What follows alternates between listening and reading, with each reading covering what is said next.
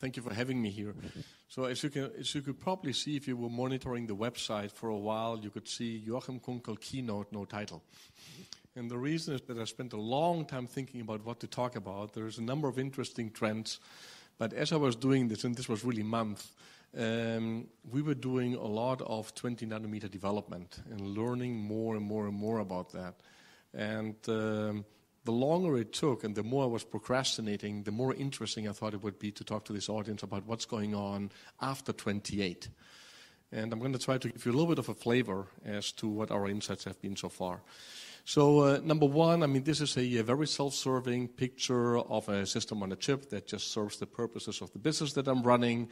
So, we're all about uh, creating a bunch of IP building blocks that hopefully our customers can then connect using some sort of standard interconnect on the chip. And by standard interconnect, I don't really mean the fabric itself. The thing that's important is that where these building blocks connect to the fabric, that we agree on some sort of standard on the port, basically. And I think in this case, uh, AMBA has served us very, very well for a long time. And I hope that it will continue to serve us very well for a long time. Because once that breaks down, SoC in the, in the way of assembling chips from building blocks will go away. So um, that's the first thing. The other, the other element that we have in terms of perspective is that these um, chips have just become a hardware execution engine for software. So there's a tremendous amount of software running on that. And because of this, of course, in my business unit, we spent some time thinking about what are other things that we could do. How can we help our customers to develop all the software faster? How can we help them with the integration of the hardware and the software? And how can we help them with the system validation? And actually, the area that we have been building a business in is the area of prototyping, both in the virtual form as well as in the hardware based form. But um, why am I talking about this? Well, the reason I'm talking about this is that one of the trends in IP that many of us have been talking about already is IP subsystems. And in the end, an IP subsystem is just an SoC in the small. So what's happened on the chip, we went from hardware only, pretty much no software, to something that when you apply a reset to and there's nothing in the memory, nothing will happen. So an SoC is hardware and software, that's that the functionality is defined you take something that was an SoC two, three generations ago, and today that's become a subsystem. And one example, which is the first one that we've done at Synopsys, was just where we took uh, some audio processors. This is a dual ARC uh, processor, all of the audio uh, digital uh, componentry that you need, added all of the analog um, codec componentry to that, threw in hundred thousands of lines of codecs implemented in software for Dolby and DTS and all of these wonderful things, and deliver a drop-in subsystem for audio functionality.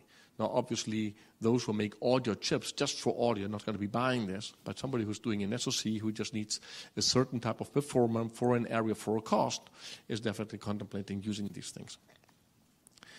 Now, let's look at what's really driving a, a, big part of the IP business is actually the, progress, uh, the progression of the semiconductor technology. And what we've plotted here is um, basically the different ways of adoption of the process nodes. In purple on the left-hand side, you can see the 90 nanometer node, and uh, the, um, the pale purple, so this portion here, is the number of cumulative designs. So we started out in 2003, Q3, right? And you can see that around um, Q1 of 04, there had been about 50 uh, something chips that had been taped out in 90 nanometers. And the dark purple represents all of those chips that were in development in those days. So in Q4 of 2004, there were about 150 chips cumulatively that, had, that were in development, from which about 50 something, 60 had been taped out. Okay? And we track this. We have some pretty good insight into what's happening because of our tools business. And if some of you are now starting to get a little bit worried about your design data, there's only one person in the whole company who knows the names and the companies associated with every chip and that's Deirdre Hanford, who's in charge of all the um, support activities in the company. Everybody else only sees the statistics. So your information and your know-how is very safe, although we can all start guessing a little bit as to what these active 16, 14 and the active 9, 8, 9 nanometer designs are. Um, but basically, so we moved forward here, and then you can see at some point in red, you can see the 28 node. And up to the 28 node, things were pretty consistent. We started doing our development for USB 2.0 PHY in 28 node in um, Q1 of 2009, taped it out about six, seven months later than that, etc., etc. Life was difficult, but life was still very reasonable, at least for our engineers. And proof of that is that in the course of uh, the time that followed, we have been um, developing a lot of IP for the 28 nanometer node.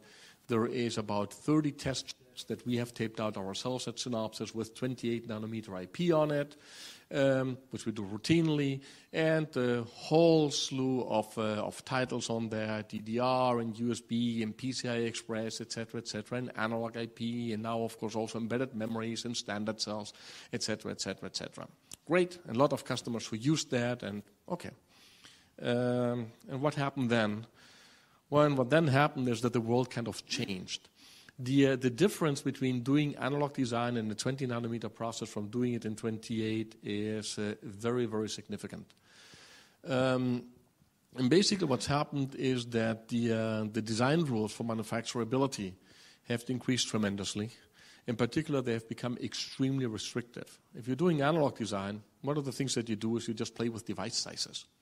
One of the typical approaches is you have some architecture slash layout that kind of works, and from node to node, you just resize your devices a little bit, but kind of stuff stays roughly where it is, and stuff works. Um, the set of devices that are available in 20 is much smaller.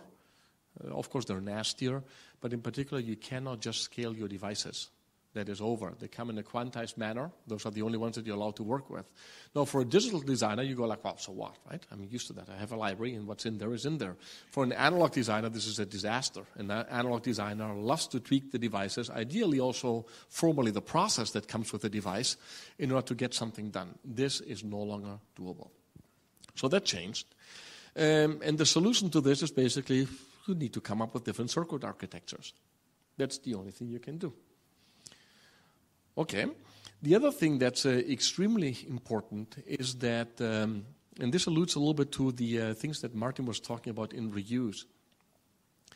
In particular, when we're working with the early adopters of our IP, the uh, manufacturing rules are starting to um, tell you in general what's the orientation of that IP, what can you do, what can you not do, etc., etc. And in the case of PHYs or hard macros, that starts putting significant restrictions on uh, what the layout for the SoC can look like that your customer is building. So there's a couple of ways around that. The first one is to work very, very closely with your customer in order to decide, for instance, whether the DDR is going to be on the left side, or it's going to be on the top, or it's going to be on the bottom, or it's going to be on the right, or whether you want it to wrap around the corner, uh, because many times you don't just have one, but you have two, and you need many, many pins for these things, as we all know.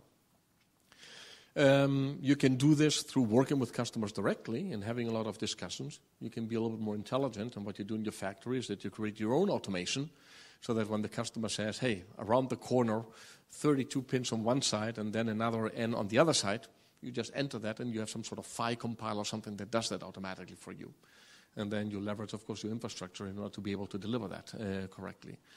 But uh, it's extremely important that these things get discussed with customers early on. It's no longer that you can just pick some IP based on power, performance, and area and it'll fit into the layout. It's important that you consider the physical attributes of the IP and that the uh, design teams take this into account from the very, very beginning. And I'll talk a little bit more about what's happening there. Um, of course, uh, another interesting thing are the system specs. The system specs is everything is faster all the time. It's got to be smaller, consume less power because it's being op- battery operated. All of this is completely wrong uh, relative to what's happening in semiconductors. But basically, the system guys or the guys who write the system specs couldn't care less about what we're doing in semiconductors and what's happening on the process technology side. The speed of the interfaces continues to increase, while actually our thick oxides are going down the toilet. Uh, nobody cares. It's like, look, I mean, come on, deal with it. I was talking to a design manager recently, said, oh, look, I, in the end, nobody cares, so I don't care about your problem. You just deliver an IP that's able to do that. Nobody cares about whether it's difficult or it's impossible. It's just got to work. Figure it out. Okay, another aspect has been the one of reliability, in particular, also. And um, in the meantime, uh, reliability simulations are an absolute must not just simulations, but also trying to identify what actually the reliability and the aging is going to be of those devices. Uh, models for aging don't really exist early on in the design process, but at the same time, you need to design these things early on because somebody will be the first one to tape out with it. I already talked about the bad core devices. Um, they're getting worse and worse and worse. The headroom that you have is becoming minimal, and they leak, which means they consume power. All of things that we don't want. Last but not least, everything has to continue scaling. Uh, you had a USB 3 a year ago or two years ago, and everybody says, like, yeah, I understand that you're going to a smaller node and that this is more difficult and that analog stuff does not scale and get smaller. Well, it's not my problem, right? For that analog IP to still make it onto the chip, it also has got to shrink somehow. And obviously, you're not going to be able to shrink analog just by making the devices or something like, or the layout smaller. You have to come up with a different architecture that will allow you to do that. The trick to pretty much everything is take a step back and redesign the architecture of pretty much every analog mixed signal IP building block that you have on the chips in 20. And uh, I'm talking about 20 planar at this point in time. Uh, we are all getting involved in the adventure of FinFETs, and obviously nothing is going to remain the same going from planar to FinFET. The only thing that remains is that at least we know how to handle double patterning. That's something. Okay, so let me give you some examples. You get the design manual, and then uh, this design manual has a lot of three letter acronyms and a few that are a little bit longer. And basically, these are the processing requirements. And you go like, mm-hmm, sounds good. So this is what your semiconductor vendor or your foundry believes the process is going to look like. And uh, what we decided to do for 20 very, very early on was to just resort to the typical things that you do as a physicist, which is you do an experiment. An experiment, in the case of semiconductors, is called the test chip. So we just decided to do very, very early on a test chip and try to figure out what are really the implications of all of these effects here on analog mixed signal design. So, what does this thing look like? This is basically the test chip that we did. Some of you may have seen this picture already.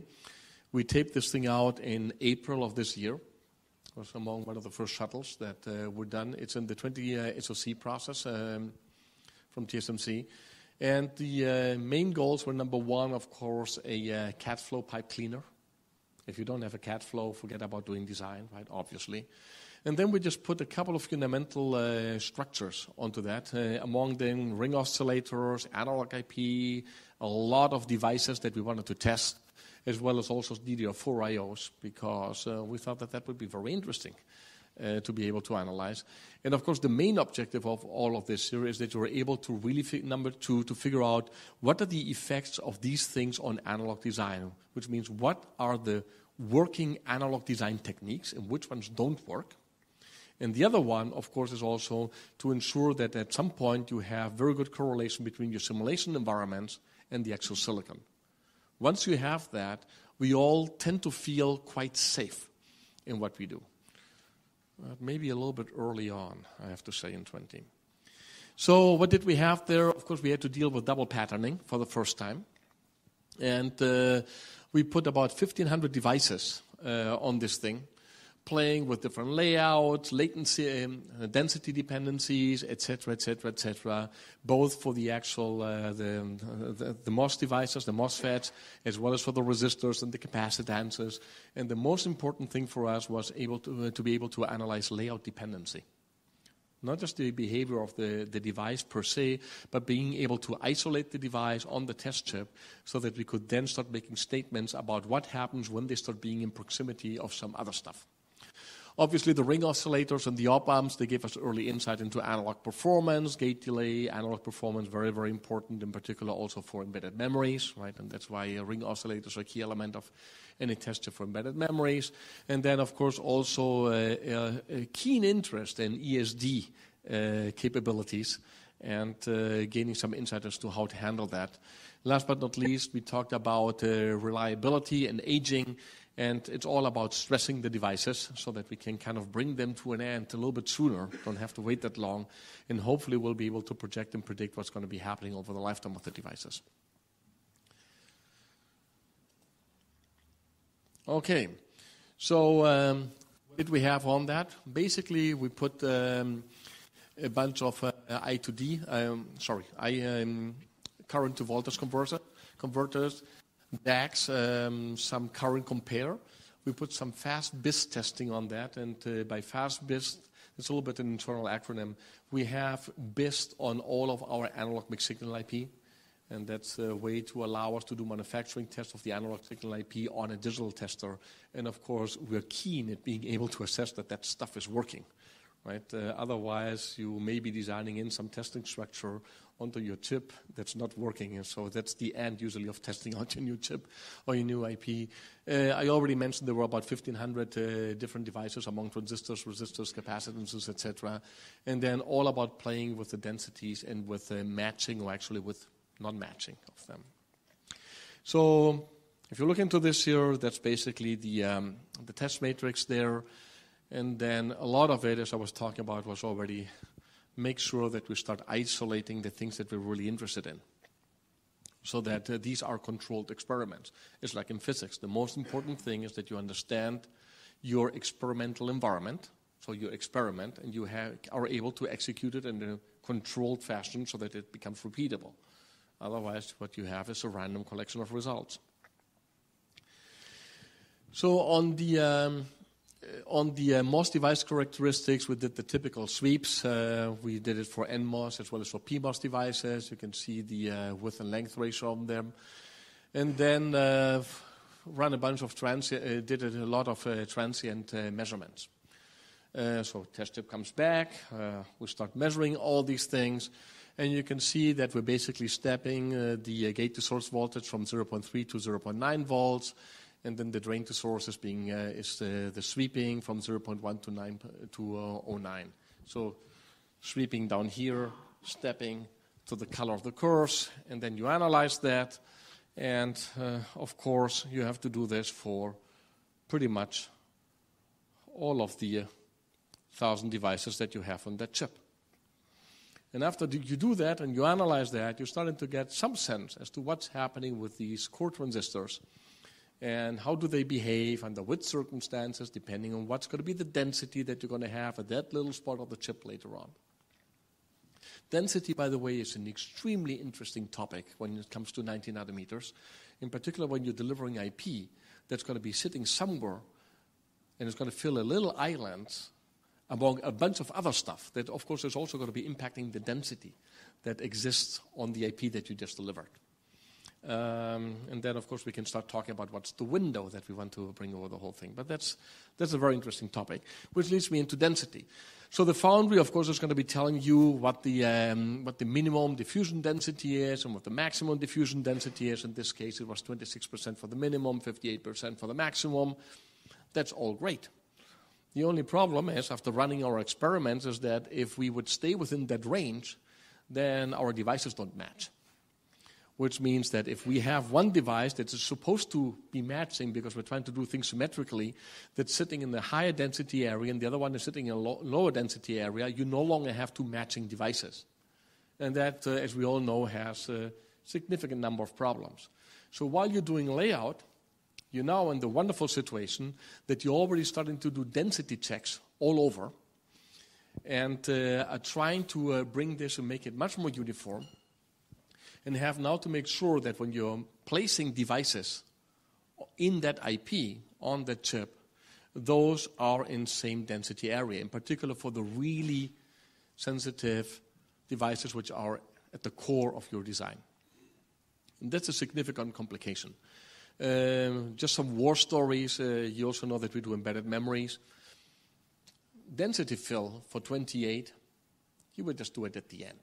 I it was a task would take a couple of days, and uh, uh, one of my guys was saying, ah, "We don't even really have this in the plan. It's just part of the kind of last week. You just do it. You're done." Um, we're doing. We're spending weeks doing density fills in 2022 uh, for something as regular as memories, where you would think, like, "Come on, what's the problem with that? That should be relatively easy." The amount of uh, compute power that we're burning right now in doing any sort of design in 20 is factors. So it's not a factor of two, it's a factor of three, four, five. In some cases, an order of magnitude higher than what we used to burn in uh, compute power for EDA tools. not just number of licenses, but also CPU cycles. It's becoming uh, fun. Of course, the engineers love it. Now, in order to be able to do something like this, and um, the purpose of this, uh, of this test chip was to make sure that we would be able to accumulate real experience with that uh, semiconductor process very early on, at a point in time where also the foundry wasn't able to tell us much about it. And we worked with TSMC very closely and the uh, OpenIP uh, program in order to be able to get that uh, chip manufactured. And a lot of the results were actually also shared with TSMC because in the end, we're just one little element that has to help the industry come to terms with designing in 20 so that the wheel keeps spinning, right? Semiconductor technology stops. I think our IP business stops relatively quickly too. Not very good. So let me show you a couple of things uh, in some more concrete examples. Let's look into data converters. Um, and this is a pretty old um, graph from the ITRS roadmap. What you can see is the threshold. You can see here the different node geometries, 90 nanometers coming down to 22, so when you start seeing these numbers, you may be able to figure out where this is coming from. Uh, 2002 all the way to 2018 estimated. You can see threshold voltage is coming down, right? Uh, that's this one here. This is not good for an analog design at least. While the VDD is also coming down.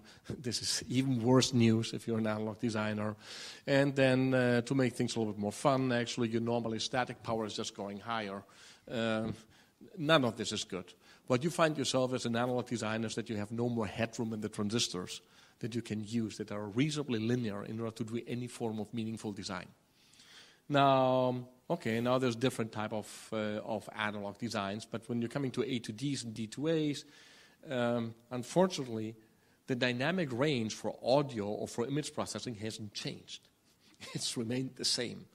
The system does not care about the problems that semiconductor uh, technology brings with it. We have to figure out through design how can we tame the semiconductor technology progress, in quotes, in order to be able to still meet the system uh, specifications. And this is just one example uh, that shows basically that it is possible to uh, achieve uh, consistent um, performance uh, specifications for um, A to D converters all the way down to using 1.8 volt thick oxides. Uh, this is something that's been taped out now a couple of times. You find it in LTE type of modems in uh, this type of process node. Uh, it was difficult, but it's doable. I think that's really the message here. Um, it is possible to do design with these 1.8 volt uh, oxides and the, um, the, um, the new core transistors you can do it in 28, you can also do it in 20. Let me show you some examples that are coming from the 20 world. Um, this is a nice problem. That's DDR4 and LPDDR3. Again, everything just works against us. Uh, the system specification calls for higher performance, while at the same time it calls for lower power consumption. And uh, the devices that we have uh, at, uh, at our disposal are just getting worse. Now, um, a couple of things are interesting. Um, I mean, you look at these type of performance here and you say, like, come on, I mean, 3.2 gigabit per second, we've done this long time ago. This is kind of PCI Express Gen 1 speed range. And that's all true. There's just one issue, is that those are differential pairs. Um, now what we have is we have single-ended interfaces with DDR4 and DDR3. Okay, well, so it's all about termination. Right? And we all know that, well, you start working on termination, and then you can come up with termination, and uh, then it's okay. Then you get rid of all the noise in there, and that's perfect. There's only one problem with that, which means termination consumes power. And if you look at what we want to do in things like here, at 2.1 gigabit per second, if we don't want to consume any power, the standard is called low power DDR. So you have a number of uh, contradicting um, requirements, which means just more of the same doesn't cut it you have to constantly come up with new ways to approach this. Uh, one of the things that you have to do then in the end, because as you can see here, for instance, the actual frequency at which the core of the uh, DDR interface is running is not really changing. It's uh, somewhere here between 100 and 200 megahertz, and it's been there all the time. Right when the standards comes up, you go here, then you start progressing the standard, and you double the frequency, and that's basically it. And then uh, you start again. So you have to resort again to architectural tricks, and the architectural tricks in this case are larger prefetch sizes, bank interleaving, etc., etc., etc. I already talked about uh, the threshold voltage not scaling, the thick oxides being a disaster, and in the case of LPDDR3, we just throw in a variable reference voltage just to make it a little bit more fun for the designers. It's doable. Uh, we have this working. Uh, probably Martin can also claim that he has something working in this space. Wouldn't surprise me. Um, again, the message is you have to take a step back. You have to understand all of the effects, which ones are important, which ones are not, and then come up with the right architectures. Taking what you had in the last generation and just fine tuning it a little bit is not going to cut it. Um, USB 3, of course, uh, working for Synopsys, it's difficult to uh, leave the stage without talking about USB. So USB 3, this is actually the size of our 130 nanometer uh, USB 3 fab. That's the first one we did, not exactly. Um, and that was using 3.3 volt IOs. And then we thought, you know what, can, I think we can do better. And for 65, actually, we looked at our USB 3. You know, I mean, for the 65 nanometer type of market, that cut it. And we were able to bring the area down. This is to scale. So this is the actual size on a 130 nanometer chip. That's the big square. And this is the actual size on a 65 nanometer chip. So what we were able to do is we were able to scale the area, which is what the digital designers or the SoC guys are kind of expecting. It's like, look, I mean, everything else is scaling, so your stuff also has got to get smaller. And by the way, don't consume more power while you do that. Um, we then tweaked a little bit more, and for our 1428 generation, we were able to get it to this point. And in the um, 20 nanometer chip that we out, we were able to reduce it much more. So within a relatively short amount of time, we've been able to cut it down by about 30%. Now, this is, um, this is far from uh, where the digital scaled between 130 and, um, and uh, 20, obviously. But you can, by understanding standards better and better and better, despite all of the obstacles that get thrown into your way, you're able to come up with smaller analog designs. It's a matter of know-how, and there's also a form of reuse. Uh, you reuse everything that you learned about something in order to move forward.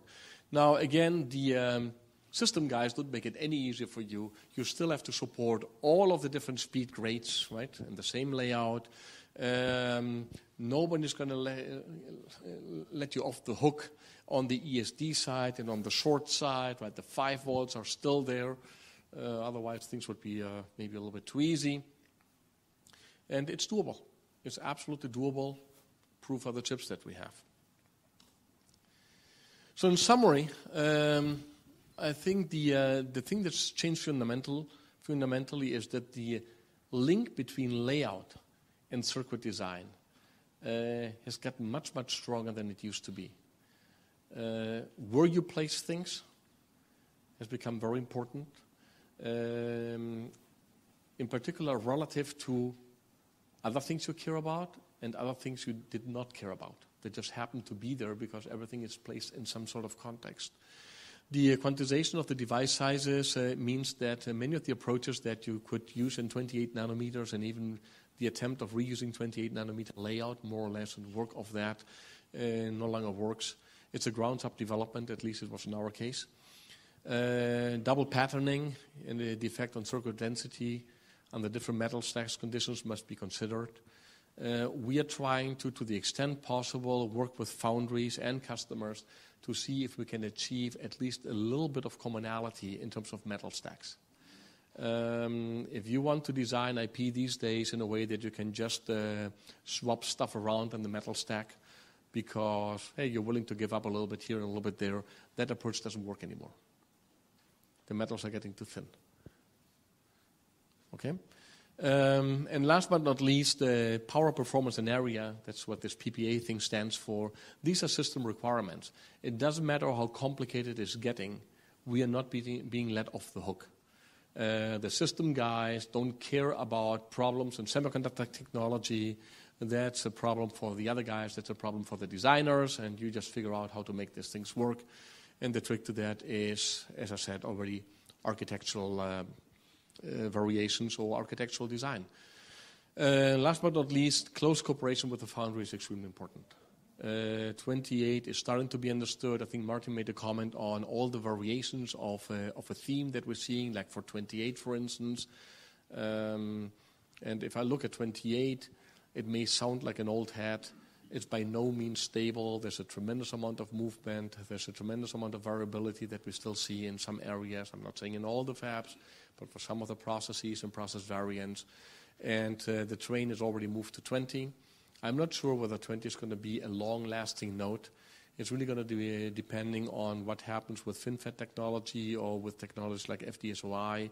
Do the ramp up uh, very quickly? If they ramp up very quickly, the days for uh, 20 planar may be more counted than if not. The sense that that exists today is that 16 FinFET or 14 FinFET or whatever you want to call it is around the corner. Uh, we will see. If it happens not to be, 20 may actually be uh, there for a little bit longer. We will see. It's kind of the answer. The answer is not clear to this here. Uh, where we are right now is we have taped out about 10 test chips in 20-nanometer planar technology. And we have customers who are going to start going into production relatively soon. Whether this is going to become a large market for IP is not known. But I think the IP business is also changing. Martin was talking about this, actually. He made some pretty interesting comments. Reuse in the form that we used to know it, like you take the same stuff and just put it on 20 chips, um, is no longer happening. I would even say it never happened. Um, our IP is highly configurable. I doubt uh, that two customers taped out the same configuration. In fact, sometimes I have my doubts whether one customer taped out the same configuration twice. Uh, because even if it's called a derivative and it's called uh, I'm just reusing the IP that I already bought, which means it's cheaper, right? Or less expensive, uh, Philippe. Less expensive. I'm not going to say cheaper. Less expensive. It's still not the same, right? So now the question is a little bit how do we go about the customization and how can we achieve that still in a way that it does not become suddenly cost prohibitive or that the only thing that we're doing is just selling bodies, right? Which obviously would be a completely different kind of business. So having said that, I would like to say thank you very much.